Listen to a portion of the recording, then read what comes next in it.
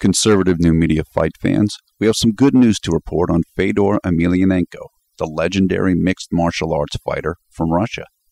Moments ago, Emelianenko defeated American Jeff Monson by unanimous decision in an M1 Global event held at Olympic Stadium in Moscow, Russia. For the last emperor, as Fedor is known, it was a triumphant return to his homeland.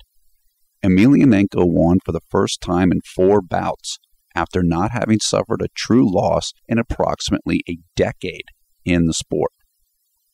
We'll include several links to articles on this fight in the video description below the video player as soon as we can post them there. Fedor, seen here, is 35 years old.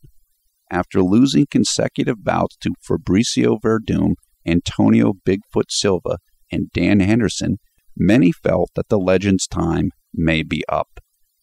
That, however, does not seem to be the case.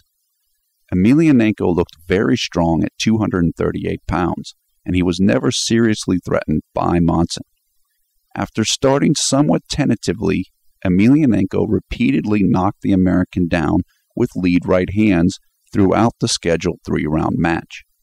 Fedor also continuously hit Monson with low leg kicks to the American's lead leg.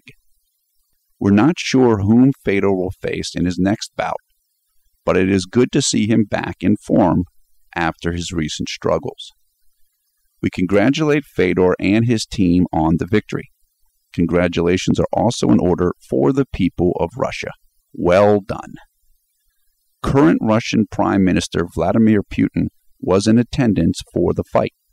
Putin spoke to the crowd after Emelianenko's win. Reporting for Conservative New Media, this is Paul F. Villarreal.